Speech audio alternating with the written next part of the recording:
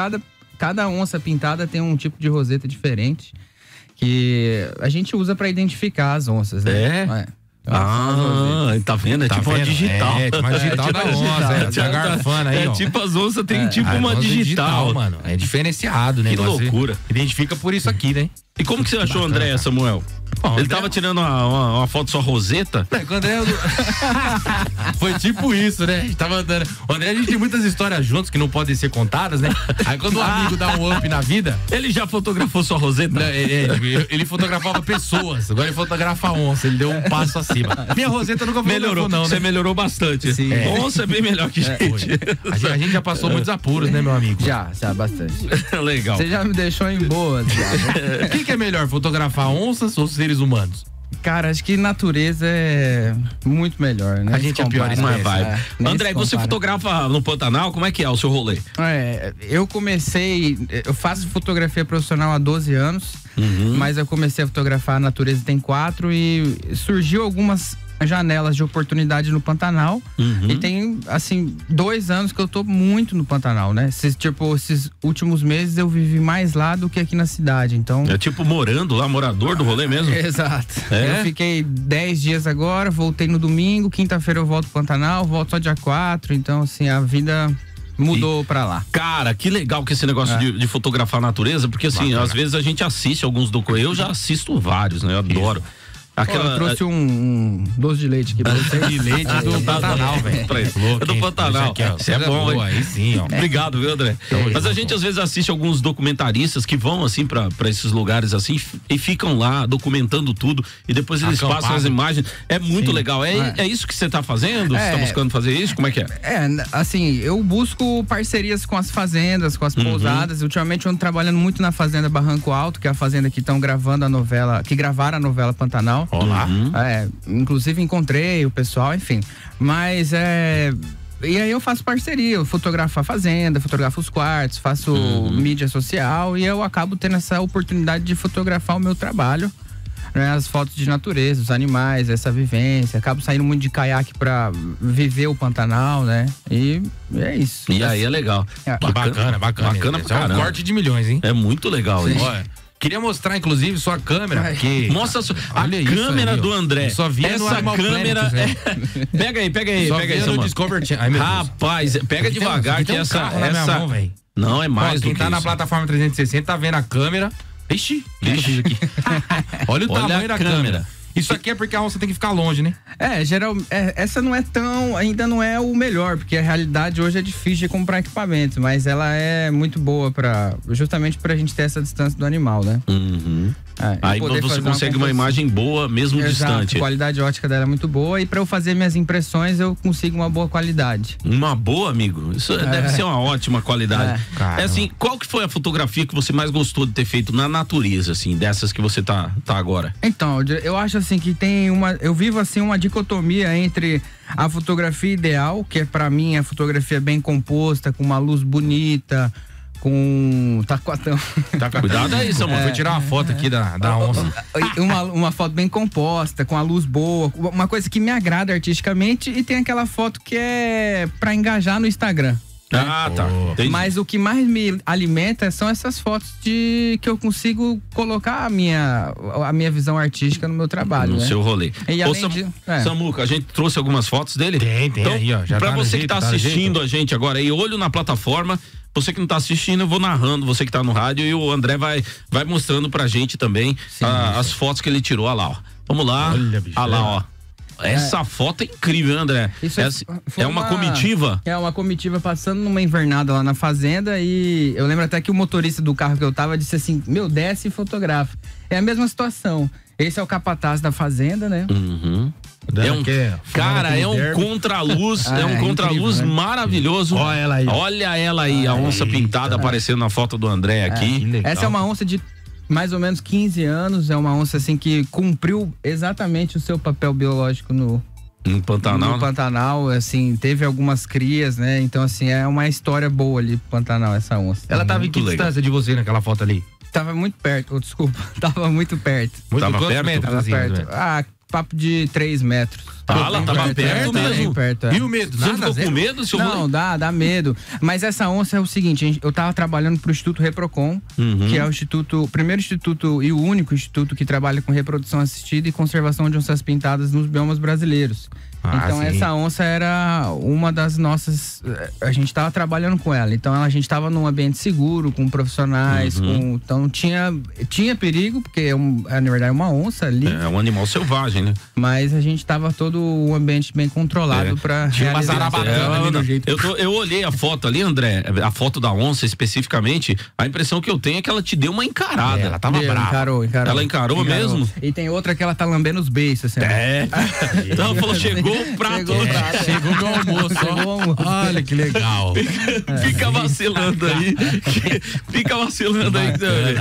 Ah, que Mas é, é legal, assim, eu acho que, assim, de- depois, algumas pessoas da, da própria novela começaram a seguir meu trabalho. Enfim, o meu trabalho ganhou uma repercussão bacana. Uhum. E não é só o ego meu, né? Eu acho que isso é pro Pantanal, pra conservação do bioma. Enfim, acho que isso tudo favorece o Pantanal e não só a mim, né? Depois da novela, a onça entrou no hype por causa da Juma, Entrou né? total. Você viu essa diferença? Total. Assim, todo mundo começou a ah, dar um Google onça. Cara, tá. essa foto da onça mesmo, ela foi tipo uma anomalia no meu Instagram, né? Ela deu quase 4 mil curtidas. Assim, Só chegou porque pra- apareceu a onça lá. É, e, e esse é o tipo de foto que a galera gosta, né? Que é o bicho, não tem nenhum tipo de composição diferente. É ali, o bicho de cara, né? Então a galera gosta. Diferente da foto do capataz dessa aí, que é uma foto que eu pensei artisticamente pra fazer, né? Ah, tá. A da onça não, foi um batidão. A Batidão. onça nem tem como ensaiar não tem onça, né? como, é, você fez. Você viu a É. oportunidade e meteu um clique lá. É muito legal esse seu Bacana. trabalho. A gente tá conversando aqui com o André Bitar, ele é apaixonado por natureza e agora trabalha com isso. Vai lá e fotografa na natureza. Fotografa André, você tá indo lá pro Pantanal e tal. É, tem essa coisa que a gente tem ouvido falar que o Pantanal tá, tá passando por uma transformação. A gente lembra que o Pantanal é uma planície alagada, é a maior do mundo. maior do mundo. Então aquilo tinha que estar alagado quase que o tempo inteiro. Sim, sim. Tá alagado? Tá, não, tá. se- É, pelo menos na região que eu estou indo, na Ecolândia, tá seco. Tá bem seco, assim. é, na verdade, ele deu uma leve enchida e secou de novo. então- Rapidamente ele secou. Foi, foi rápido. Inclusive, eu de caiaque andando no Rio Negro, na região da Ecolândia, tinha regiões que eu encalhava, né? Enguiçava com, com um caiaque, tinha que levantar, descer com, e andar com o pé, enfim. Puxa É, vida. já vi, isso é Eu fico assim, toda Ah, vez que eu. ter- eu tive um encontro com um búfalo selvagem no meio do Rio Negro, Uhum. papo de dois metros de distância, e eu achei que ele tava submerso na água, que ele tava só com a cabeça. Só que de repente ele subiu, ficou com todo o corpo pra fora e começou a galopar pra cima de mim, porque Ah. o rio muito seco. Olha lá. E eu comecei a remar pra trás e consegui ficar tranquilo em relação Que a tudo. Mas tá loucura, muito cara. seco mesmo, é. Tá Nunca muito gente- aconteceu. Caramba, o cara é quase o Richard Ramos. é, não, Não, é melhor. É, melhor. não, é que- o ex-Ventura. É. o búfalo foi a maior aventura que eu tive no Foi o. Búfalo, foi o Búfalo? Foi sozinho, foi Partiu pra cima de você mesmo. Foi, foi incrível. Nossa, incrível. que loucura. Que legal, deve ser legal pra É, caramba, né? quando a gente pensa no Pantanal, eu, eu, eu pelo menos avalio assim, não sei o André nem o Samuel. Eu acho que o Pantanal é a maior riqueza riqueza que nós temos e que pertence a todos os sumatogrossenses. Sim. É claro que tem Pantanal no Mato Grosso, o Pantanal chega até em outros países, mas tô falando nessa Sim, parte que nos pertence, essa é a maior riqueza e é uma riqueza comum, coletiva, de todo mundo. Sim. Só que a gente tem observado que pouca gente tem destruído essa riqueza, Ah, é né? Então, assim, Isso. quando, quando o André fala pra gente, pô, Pantanal alaga rapidamente, seca rapidamente. É, foi o que aconteceu que eu vi agora, né?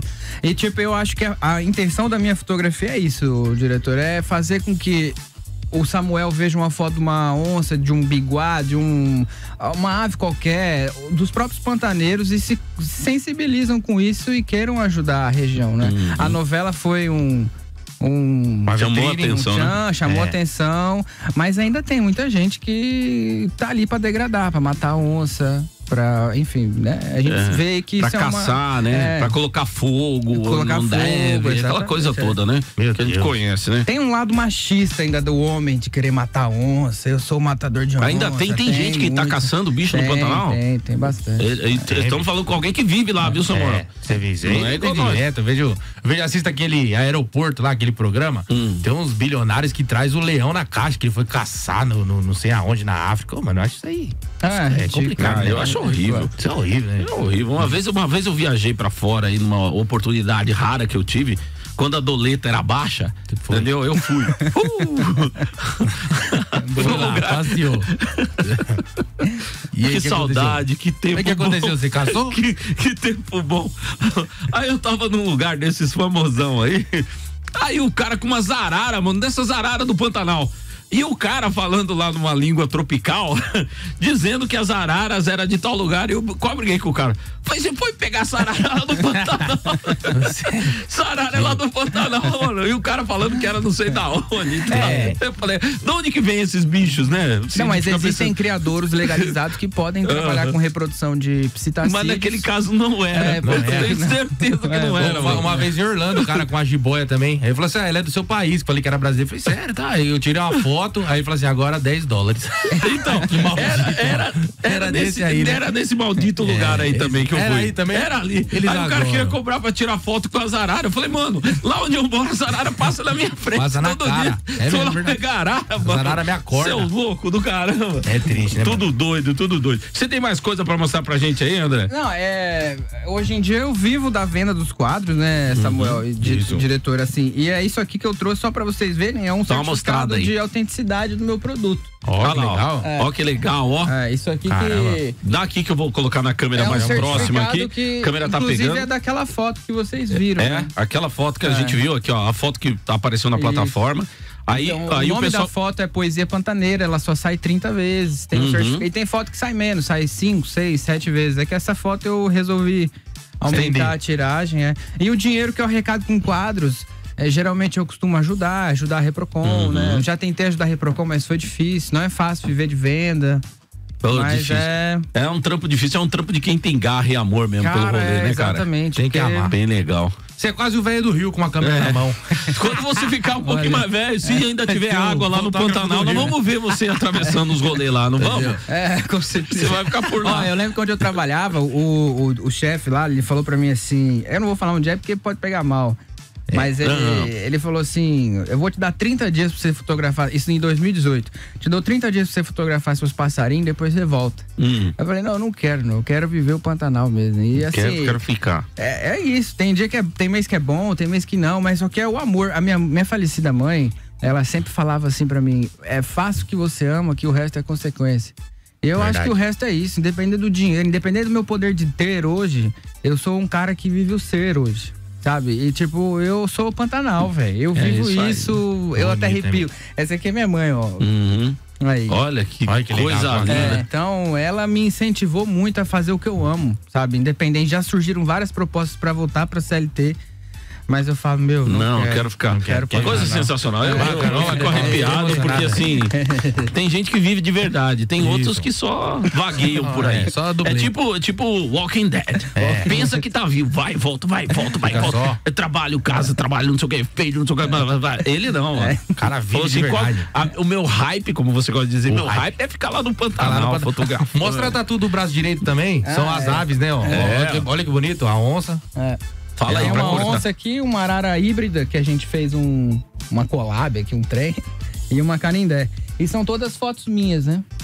Olha que legal, as e próprias aqui fotos. são as corujas, e a minha mãe, né? Esse braço legal. é uma homenagem pra minha mãe. Muito legal, que muito legal. legal. Caralho, que bonitas é. tatuagens, ó. É. E eu querendo tatuar um Pokémon. Fiquei amarradão, amarradão.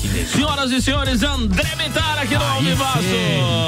André, leve ao Pantanal o nosso abraço, o nosso Isso, desejo. É, a nossa luta, não sei se você conhece o trabalho aqui da Blink, desde quando a Blink surgiu, ela já surgiu uma rádio identificada com a questão socioambiental. Sim. Então, assim, desde o comecinho da rádio, a gente tem feito, assim, dezenas de campanhas. Inúmeras. A última campanha que está no ar aqui na Blink é uma campanha que chama Break Sustentável. Uhum. Cada vez que um cliente acredita nesse tipo de conteúdo que a gente está fazendo aqui, ele faz um contrato com a rádio para veicular suas peças, suas promoções. Cada vez que ele faz isso, a Blink se compromete a plantar uma árvore aqui em ah, Campo ah, Grande. Legal. Então, desde que esse projeto começou, nós já plantamos perto de 7 mil árvores ali na margem do Córrego Segredo. A gente tá.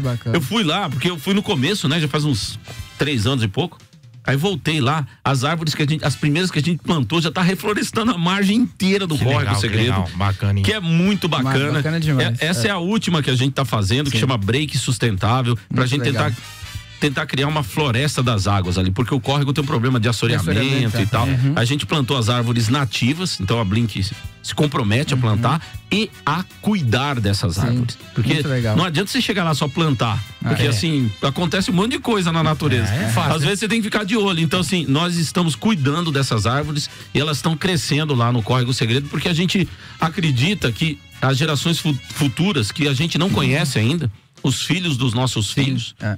eles têm direito É, de ver certeza. alguma coisa É. parecida com o que a gente viu. É. Isso é um direito para eles. E a gente faz isso por esse direito de existir. Sim. Não só deles, mas de todos os seres vivos. Leve então o nosso abraço à galera do Legal. Pantanal, André. A música do Pantanal falava, né? Os filhos dos É, filhos dos nossos Sim, filhos sim, verão. é. Eu lembro uma mas- vez que eu fiz uma foto que saiu na NetGeo, eu vou. É rápido. E tinha umas seis araras assim, e um senhor de uns 70 anos falou pra mim, falou, rapaz, isso há uns 30 anos a gente não via assim em Campo Grande. Eu não sei se é verdade, porque eu não vivi isso, essa época. Mas o legal da fotografia é esse registro histórico mesmo, né? As pessoas verem e, tipo, compararem, né? Verem o que existiu e a E o gente que talvez tem. pode não deixar de, pode deixar de ver. Mas eu quero agradecer muito vocês, porque é difícil mesmo viver de arte. E, e Samuca, obrigado. Pô, de que é isso, coração. Qual, junto. qual que é o seu rolê no Instagram? Qual que é? Ó, arroba, arroba. É, arroba- falar o arroba do homem aí, ó. É. Qual, qual que é arroba, uh, É André? arroba André Bitar. André Bitar. Só Ô, tem André. um ponto, André ponto Bitar. André Vitar ponto com dois T.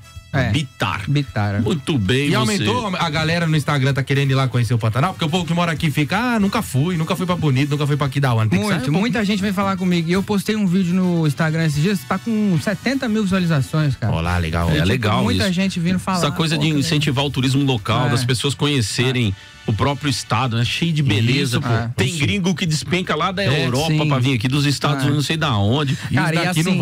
E a gente nunca É, foi. Vamos pra é, balneário. Tem Mas, muita página no Instagram de, de divulgação que, cara, dá tanto valor pra fotógrafo gringo, pra gente gringa e, e os locais, ó.